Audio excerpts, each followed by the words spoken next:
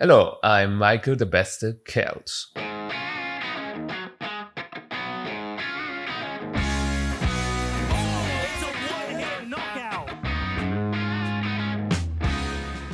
Uh, my very first Pokemon game was Pokemon Platinum back in 2009. My uh, cousin suggested me to play it, and I immediately fell in love with it.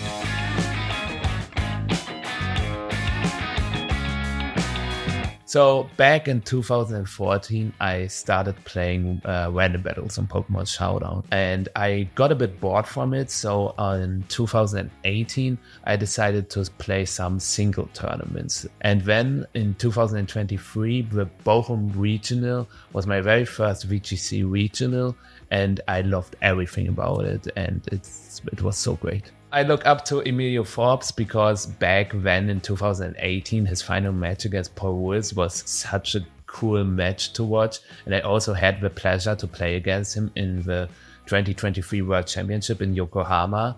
And he beat me, so I really want to beat him. And also, uh, Wolfe Glick is another person I really look up to. So here we have Michael Kelsch, aka Michael Derbesti because he did so much stuff for the scene and he's a phenomenal player. He won the biggest regional ever. He has so many regional titles under his belt that I really want to beat him on stream. My favorite Pokemon is Victini. It always was. I just like the symbol behind Victini. It's the victory Pokemon my goals for my competitive career are different. Like I have obviously the goal to be a world champion.